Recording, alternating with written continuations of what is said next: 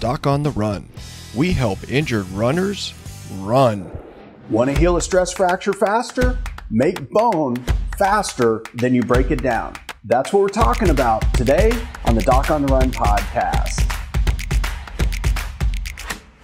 Now, last week, I was actually lecturing at a medical conference. So, this was the International Foot and Ankle Foundation meeting in Hawaii.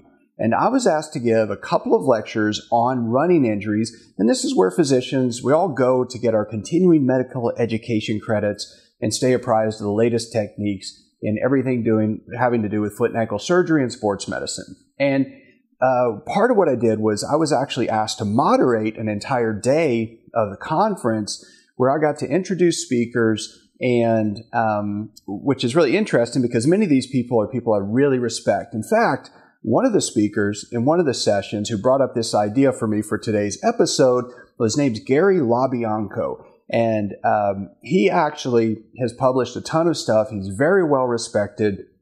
And he actually wrote the chapter in this book called McGlamry's comprehensive textbook of foot and ankle surgery. Now, this book in particular is the most expensive book I have ever purchased my entire life. And I had to buy it when I was a medical student. Uh, this is actually, believe it or not, this is the smaller of two halves of this book. And Dr. LaBianco, he actually wrote um, this chapter in the textbook called Methods of Osseous Fixation. And what that means is different techniques on how to actually hold broken bone together. And so he was giving this lecture on metatarsal fractures. And of course, if you get a stress fracture in your foot, the chances are good that it's a metatarsal stress fracture. And if you keep running on it, you ignore it, you don't pay attention to it, and you let it get worse and worse, it will break, move out of position, and then you get some methods of osseous fixation applied to you. You actually have a little plate, some screws, something holding the bone together where you broke it. So obviously that's not good. You don't want to have that situation. But if you happen to be in Dayton, Ohio, and Gary LaBianco is your doctor, I am confident he will take good care of you because that's where he practices. Now, so big shout out to Dr. LaBianco.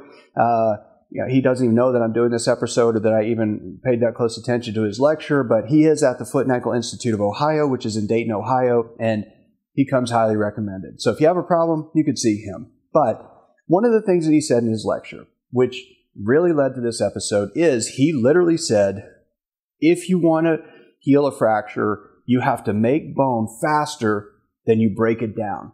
And he went into this in great detail, saying uh, that, you know, what's happening is that you have osteoclasts and osteoblasts, which are two kinds of cells which actually lay down bone and then remove bone so that healthier bone can be put in its place. So you have two things at play all the time. You're not just repairing bone, you're also removing bone throughout that entire process. And part of his point of this talk was at one point he said, look, when we have our patients and they're not healing as fast as we want, we don't see progress on the x-ray, they continue to have pain or swelling or these other things that indicate the fracture is not healing, you have to do something to pull them back because at that point it indicates that they're actually destroying bone faster than they're making bone. And you have to restore that balance if you really want to get the fracture healed as quickly as possible. So I believe that's entirely true. But what I was also thinking about and talking about in this episode is kind of the other side of that equation, not just pulling you back. And when we say pulling you back, as a patient, as a physician pulling you back, what does that mean? Well, it means that we're going to do something to further limit your activity. And if you're a runner, the last thing that you want is more limitation. You do not want to be told to run less. You do not want to be told to go to the gym less. You do not want a fracture walking boot, a cast, or crutches, or any of those things that restrict you even further. So, well, what's the other side of the equation? The other side is to try to think, well, what can you do?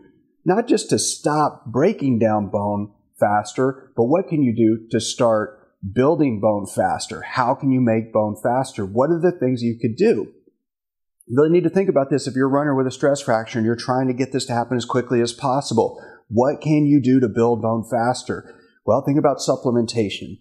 Everybody thinks about calcium and vitamin D, and sure, those things are important. But in the earlier stages, collagen is important. You have micronutrients, things like magnesium and calcium and copper, uh, things that might be missing from your diet that could help. Are you thinking about, are you doing any kind of supplementation? Like if you have a fracture, is there anything you're doing currently that you think might actually speed up that process of making bone faster?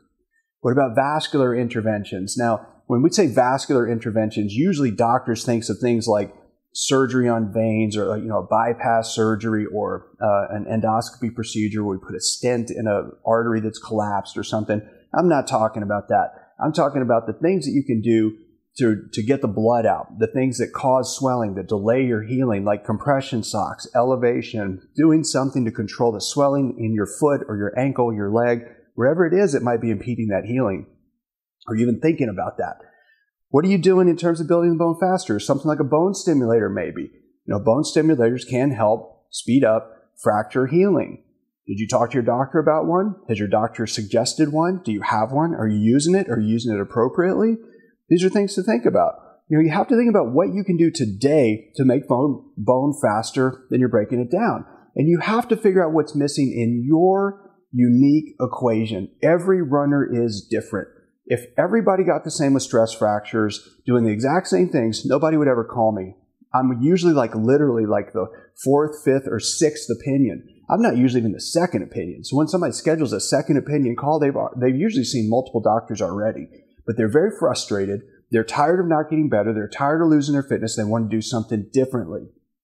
Now, if you want to learn more about those things you can do differently when you have a stress fracture, I'm doing a live masterclass, and depending upon when you're listening to this, you might be able to still join it if you're listening to this in time. It's called Running with a Suspected Stress Fracture Do's and Don'ts. And what I'm going to do is I'm going to go through all the principles I teach to physicians at medical conference when I'm asked to lecture on treating stress fractures in runners. I'm going to talk about the things that I actually do with runners in person. If I were to see you personally on a webcam call, or if I was in your living room, the, the basic sort of ideals, fundamentals, the strategies, the things that we know can actually alter your course and get you back to running faster. The things that you have to think about if you're if you really want to run sooner rather than take the standard timeline. I'm also going to talk about um, the things that, that can fast track your recovery not just healing the fracture, but actually returning to running because you need to have that in the forefront of your mind. You need to not just think about, I have a broken bone, it has to heal. You have to think about how you're going to return to running when that bone is just starting to heal sufficiently to withstand that amount of stress so that you can get back to maintaining your running fitness. Because if you want to run long term, you have to focus on that, not just the fracture. If you want to sign up for the masterclass, you can get it for free. You don't have to pay for it. You just have to go to docontherun.com slash stress fracture live, all one word, and you can sign up for free there. So go sign up, and I'll see you in the masterclass. Doc on the Run. We help injured runners run.